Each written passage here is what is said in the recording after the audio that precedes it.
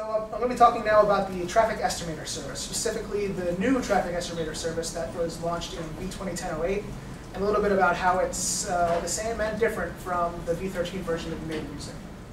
Um, it was originally released in V12, so it's been out there for a little while, and it basically takes the same functionality as the traffic estimator UI, you know, figuring out for a given keyword and a given bid and a given set of targeting, essentially how many clicks can I expect to get.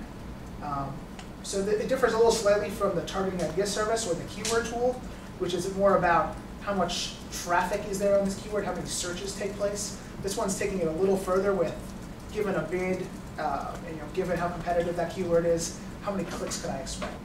And the nice thing about it too is it can use contextual information. So uh, you can kind of pass it in these kind of proposed keywords. So if I were to add this keyword in some hypothetical ad group, in some hypothetical campaign, how would it do?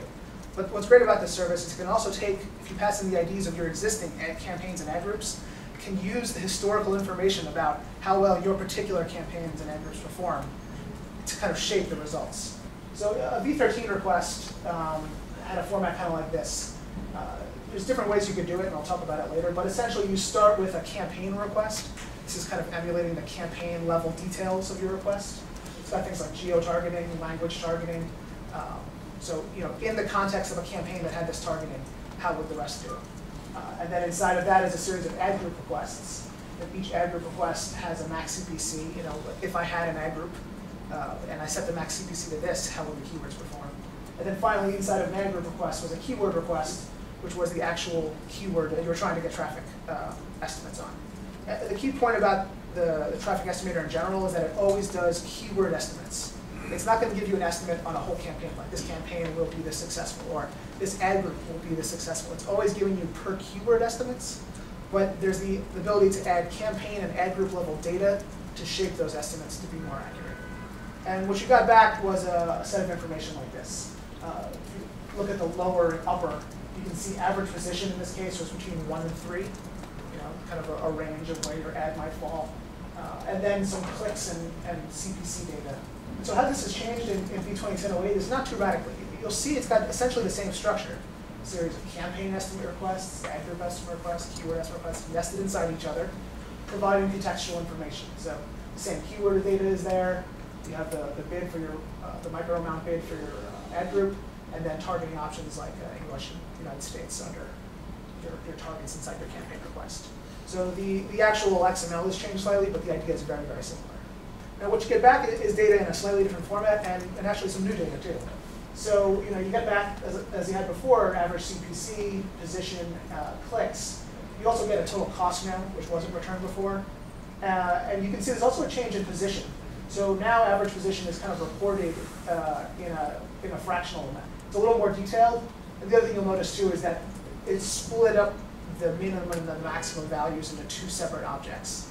So before, kind of your uppers and lowers were together.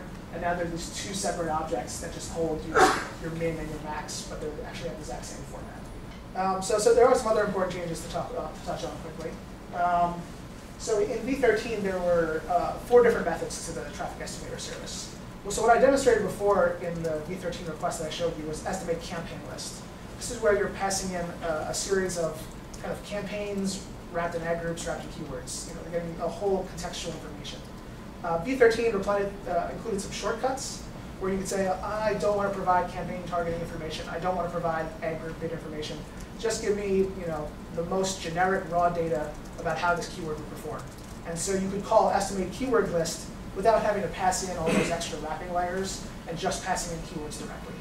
So in, in V2010-08, those three, those top three have been combined in just one get method. So what it means is that you're, you're always going to have to create a campaign in an ad group layer. You can't skip right to the keywords per se, but we think that overall it's a benefit because thinking about setting campaign information, thinking about setting ad group information is going to give you um, better traffic estimates. And then the fourth method there, check keyword traffic.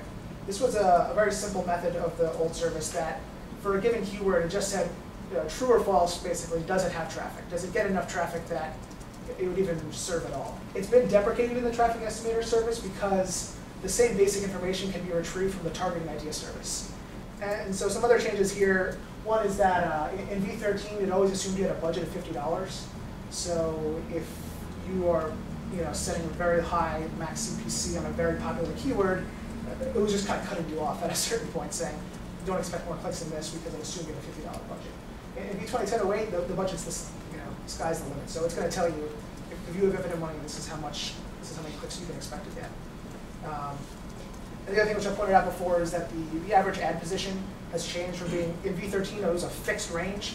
You either fell in one to three or four to six, versus now in V twenty ten oh eight, the ranges are, are more dynamic with, with you know, decimal values and, um, you know, more accurate about where in the range you're gonna be. And the last one there is that average cost, uh, which is something that wasn't available in V thirteen, is now available in V1008.